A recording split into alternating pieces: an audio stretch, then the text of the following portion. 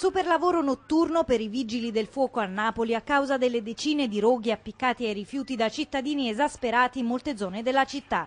Ieri sera un blocco stradale degli abitanti del quartiere Fuori Grotta ha provocato enormi disagi e attimi di tensione. Esasperati dalla puzza e dall'impossibilità di passare sui marciapiedi, hanno bloccato il traffico veicolare ostruendo la strada con sacchetti di immondizia e cassonetti. Il traffico, particolarmente intenso a causa dello sciopero dei mezzi pubblici, è rimasto completamente bloccato per ore e intanto la Procura di Napoli ha nominato tre consulenti per le verifiche nella discarica di Chiaiano, costruita, secondo l'accusa, in maniera approssimativa e con materiale scadente proveniente da imprese vicino al clan dei Casalesi. Si tratta dei professori Franco Ortolani, Angelo Spizzuoco e Paolo Croce, quest'ultimo dell'Università di Cassino. I tre esperti dovranno compiere accertamenti nell'impianto, in particolare sugli argini liberi che sarebbero dovuti essere collaudati nei giorni scorsi, ma all'ultimo momento c'è stato un rinvio e in profondità. I PM Antonello Ardituro e Marco Del Gaudio, titolari dell'inchiesta, stanno valutando se chiedere al GIP un incidente probatorio. Una richiesta in tal senso è già stata avanzata dall'avvocato Gennaro Lepre che assiste la IBI, una delle società coinvolte nell'inchiesta.